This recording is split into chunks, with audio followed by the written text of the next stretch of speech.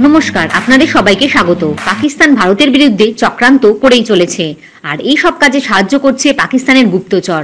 এবার আব্দুল ওহাব পাঠান নামে এক পাকিস্তানি গুপ্তচরকে গ্রেপ্তার করেছে Ahmedabad crime branch. Crime branch বলছে যে এই ব্যক্তির পাকিস্তানি গোয়েন্দাদের সাথে যোগাযোগ রয়েছে। সে ভারত থেকে সিম কার্ড কিনে পাকিস্তানে পাঠানোর কাজও করে। বলা হচ্ছে বাহাত্তর বছর বয়সী আব্দুল ওহাব পাঠান দু হাজার উনিশ সাল থেকে এই কাজ করছেন। তিনি তিন থেকে চারবার পাকিস্তানেও গেছেন। তার কাছ থেকে মোট দশটি সিম কার্ড উদ্ধার করা হয়েছে। তিনি একা কাজ করছিলেন নাকি অন্য কোনো দেশবিরোধী কর্মকাণ্ড জড়িত ছিল, তাও খতিয়ে দেখছে পুলিশ। আসামি জিজ্ঞাসাবাদে পুলিশকে জানিয়েছে যে সে বিভিন্ন ওয়েবসাইটের মাধ্যমে মানুষের পরিচয়পত্র সংগ্রহ করত এবং তা দিয়ে সিম কার্ড কিনত।